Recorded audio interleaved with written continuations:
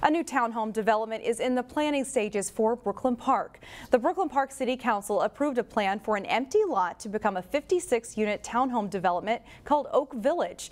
It will be on the southwest corner of Oak Grove Parkway and Regent Avenue North. The developer says the units will be in the high 200s. Some council members expressed concerns that the townhomes would not be affordable nor senior friendly.